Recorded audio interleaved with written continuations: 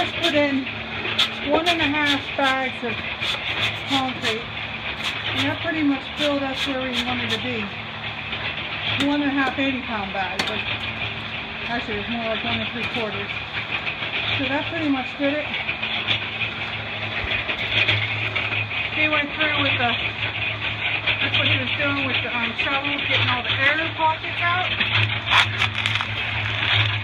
We're gonna set this like so.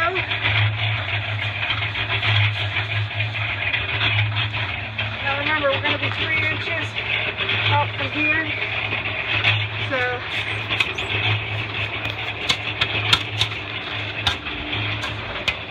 I'm just going to stick it down in there a little bit. And that's going to pretty much do us.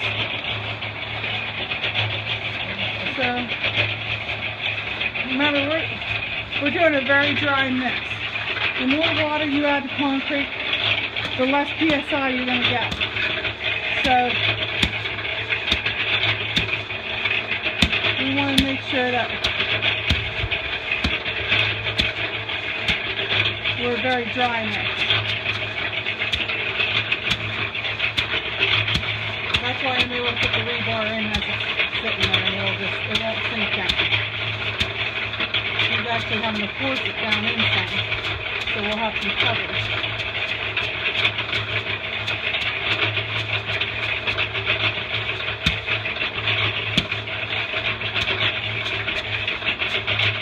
How deep do you think it is? Piece of rebar over there and scoot it down until you hit it and see how deep it is.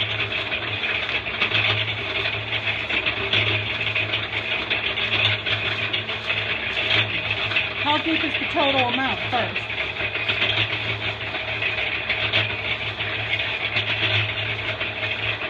Okay, so we don't want it down in too far. That's good, right there. Remember, it's three inch clearance from the bottom. That puts us right where we want to be.